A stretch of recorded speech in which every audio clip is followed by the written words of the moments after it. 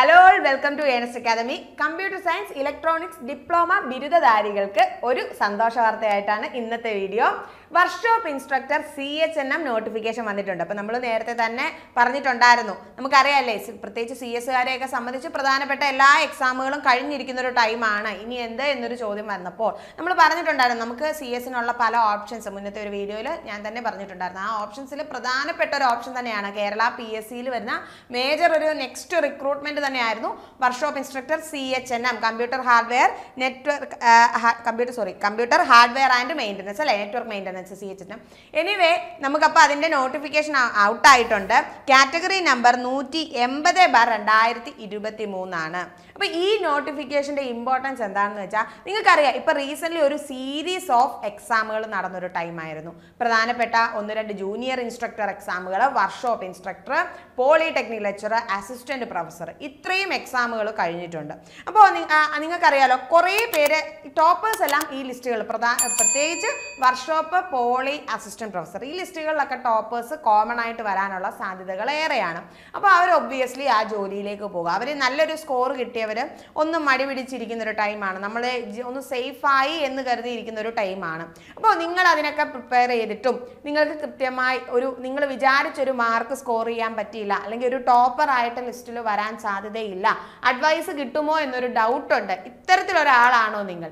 എങ്കിൽ നിങ്ങൾക്കുള്ളതാണ് ഈ എക്സാം കാരണം ആ ഒരു പോർഷൻസ് കഴിഞ്ഞാൽ ആ സ്റ്റുഡൻസിന്റെ ആ ഒരു കോമ്പറ്റീഷൻ കഴിഞ്ഞാൽ നെക്സ്റ്റ് വരുന്നവർ നിങ്ങളായിരിക്കും. നിങ്ങളാണ് അത് കഴിഞ്ഞ് വരുന്ന ഏറ്റവും നന്നായി പ്രിപ്പയർ ചെയ്തിട്ടുള്ള ആൾക്കാർ അപ്പം നിങ്ങളൊന്ന് പരിശ്രമിച്ചാൽ നമുക്ക് ഈ ഒരു സിലബസ് കവർ ചെയ്ത് ഇത് വലിയ വ്യത്യാസമൊന്നും വരുന്നില്ല. അപ്പം നമുക്ക് ഈ ഒന്ന് ഒരു പരിശ്രമം ഉണ്ടെങ്കിൽ ഉറപ്പായിട്ടും നമുക്ക് ഇതിൽ കയറി പോകാം.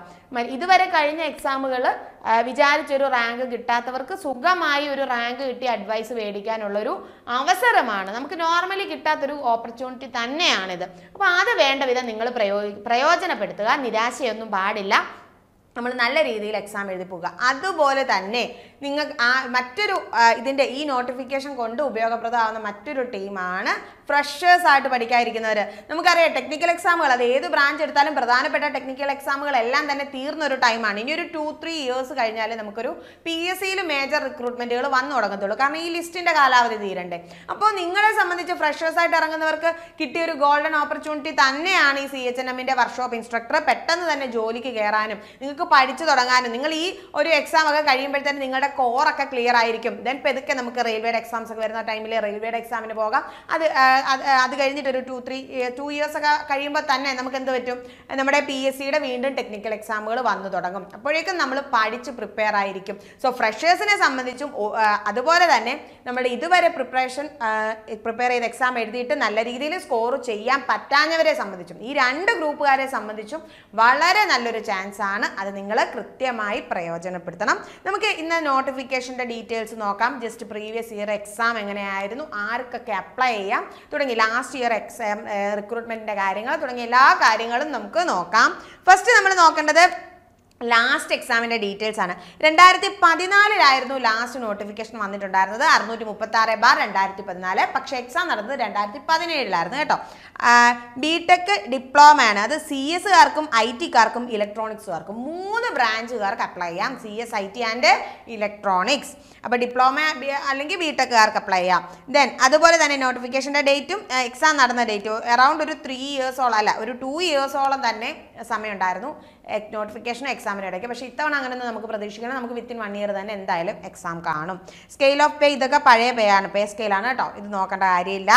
ലാസ്റ്റ് ടൈം കട്ട് ഓഫ് നോക്കിയാൽ നാൽപ്പത് പോയിന്റ് ആറ് ഏഴാണ്. മാക്സിമം എഴുപത്തിരണ്ട് മാർക്ക് വരെ മേടിച്ചവരാണ് ലിസ്റ്റിൽ ഉൾപ്പെട്ടിട്ടുണ്ടായിരുന്നത്. ഇനി നമുക്കറിയാലോ ഇത്തവണ ഇന്റർവ്യൂ ഒക്കെ ഉള്ളൊരു പോസ്റ്റാണ് അതെല്ലാം മനസ്സിലാക്കിയിരിക്കുക.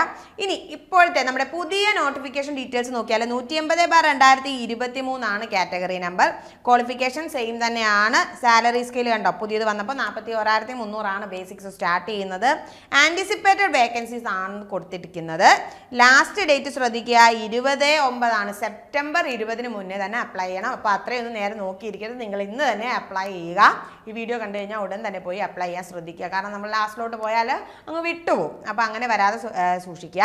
ഇനി ഇവിടെ ഇത്തവണ ഇപ്പോൾ പുതിയ പി എസ് സിയുടെ എല്ലാ നോട്ടിഫിക്കേഷൻസിലും എങ്ങനെയാണ്? ഇക്വലൻസി കൊടുത്തിട്ടുണ്ട്. അതായത് ലാസ്റ്റ് ടൈം വരെ ഏതൊക്കെ ഡിഗ്രിക്കാർ അല്ലെങ്കിൽ ഡിപ്ലോമ ഹോൾഡേഴ്സ് ഏത് ക്വാളിഫിക്കേഷൻകാരൊക്കെ ആരൊക്കെ ഏതൊക്കെ ക്വാളിഫിക്കേഷൻ ഉള്ളവർ ഈ ജോലിക്ക് കയറിയിട്ടുണ്ട് എന്നുള്ളതാണ്. ഈ ഇക്വലൻസിയുടെ അർത്ഥം. അതായത് ഈ പി ഡി എഫിൽ നിങ്ങളുടെ ഇതാണ് polytechnic diploma in computer hardware maintenance ആണ് നമ്മുടെ ജസ്റ്റ് ബേസിക് ക്വാളിഫിക്കേഷൻ വേണ്ടത്.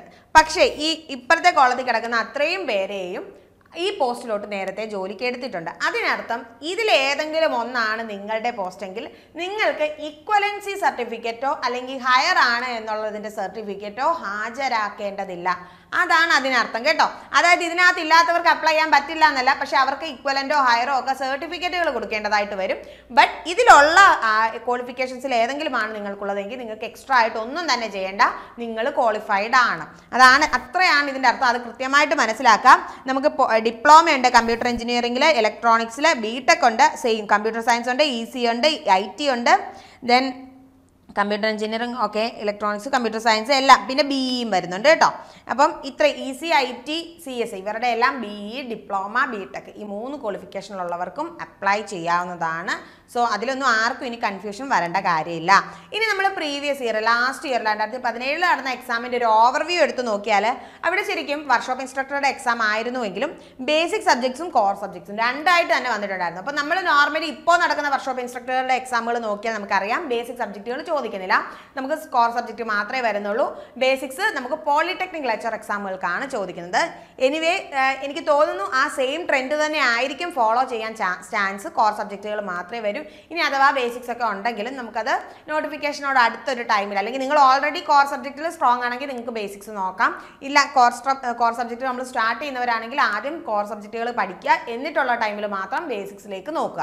ഇനി കോർ സബ്ജക്റ്റുകൾ നിങ്ങൾ പഠിക്കേണ്ടത് ഏതൊക്കെയാണെന്ന് വെച്ച് കഴിഞ്ഞാൽ digital electronics and micro processor വരുന്നുണ്ട്. System hardware and system administration വരുന്നുണ്ട്. Data communication and computer network വരുന്നുണ്ട്. Programming using C and Java and database management systems വരുന്നുണ്ട്. Computer architecture and operating systems വരുന്നുണ്ട്. Mobile computing and embedded system വരുന്നുണ്ട്. അപ്പോൾ E C C S I T ഇവരുടെ എല്ലാം syllabus ഒരു ഒന്ന് mixed ആക്കിയിട്ട് തന്നെ വന്നിട്ടുള്ള ഒരു സിലബസ് ആണ് നമുക്ക് പഠിക്കാനുള്ളത്. അപ്പം നല്ലൊരു എഫേർട്ട് ഇട്ടാൽ ഈ ഒരു അവസരം നമുക്ക് നല്ല രീതിയിൽ ഉപയോഗിക്കാം.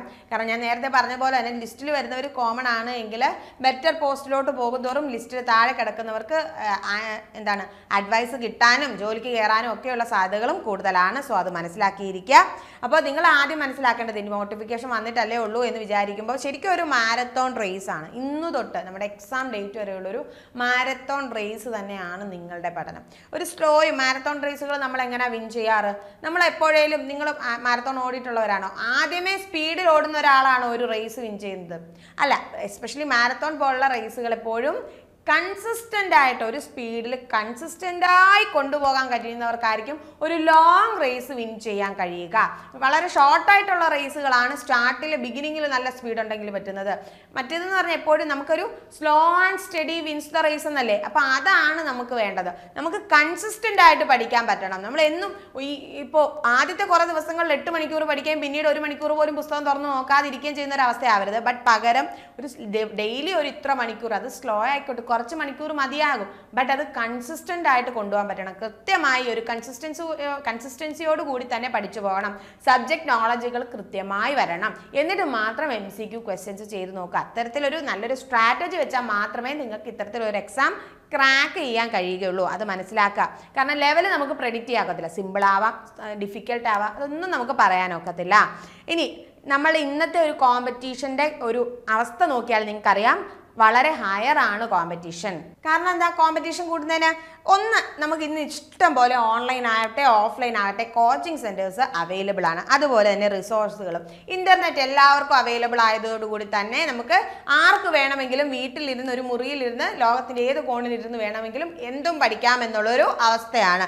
സോ കോച്ചിങ് സെന്റേഴ്സ് ആവട്ടെ ഗൈഡൻസ് ആവട്ടെ റിസോഴ്സസുകളാവട്ടെ എല്ലാം അവൈലബിലിറ്റി കൂടുതലാണ്. അങ്ങനെ കൂടുമ്പോൾ എന്താണ്? എല്ലാവരും പഠിക്കാൻ ശ്രമിക്കും. സോ കോമ്പ കോമ്പറ്റീഷനും കൂടുതലാണ്. പക്ഷെ നമ്മുടെ ഒരു ടൈം എന്ന് പറഞ്ഞാലോ നമുക്ക് ഈ നോട്ടിഫിക്കേഷൻ ഒരു വൺ ഇയർ ടൈം പീരീഡ് ആണ് നിങ്ങൾക്ക് മാക്സിമം കിട്ടാൻ പോകുന്നത്. അപ്പോൾ ആ ഒരു ലിമിറ്റഡ് ടൈമിൽ നമുക്ക് പഠിക്കേണ്ടതായിട്ടുണ്ട്.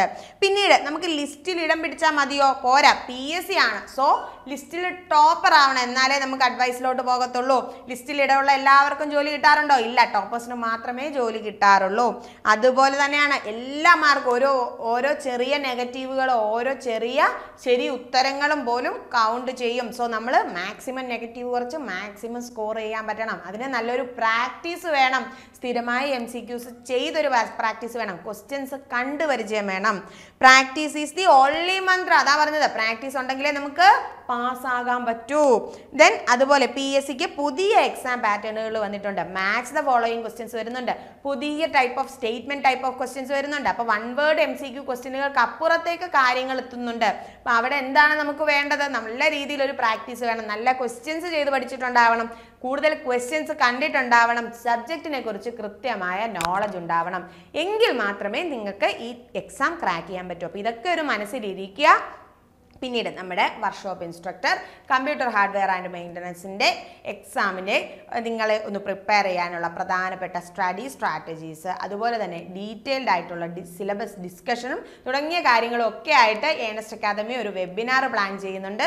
സോ വെബിനാറിൽ പങ്കെടുക്കാൻ നിങ്ങൾക്ക് നിങ്ങൾക്ക് എന്തെങ്കിലും ഡൗട്ടുകളൊക്കെ ഉണ്ടെങ്കിൽ നമുക്ക് വെബിനാറിൽ എക്സ്പേർട്ട് ആയിട്ടുള്ള ഫാക്കൽറ്റീസ് തന്നെയായിരിക്കും വെബിനാർ കണ്ടക്ട് ചെയ്യുന്നത്. അപ്പോൾ ഫാക്കൽറ്റീസിനോട് ചോദിച്ച് നിങ്ങളുടെ എല്ലാ ഡൗട്ട്സും ക്ലിയർ ചെയ്യാനും പേഴ്സണലായിട്ട് തന്നെ നിങ്ങൾക്കൊരു സ്ട്രാറ്റജിയൊക്കെ മനസ്സിലാക്കാൻ മനസ്സിലാക്കാനും ഒക്കെ ഹെൽപ്ഫുൾ ആയിരിക്കും. സോ വെബിനാറിൽ ജോയിൻ ചെയ്യുന്നതിനും എക്സാമിനെ കുറിച്ച് കൂടുതൽ കാര്യങ്ങൾ അറിയുന്നതിനും ഉറപ്പായും താഴെ കാണുന്ന ഫോം ഫില്ല് ചെയ്യുക. മറ്റൊരു വീഡിയോയുമായി പുതിയ അപ്ഡേറ്റ്സുമായി വീണ്ടും കാണാൻ വേണ്ടി ബൈ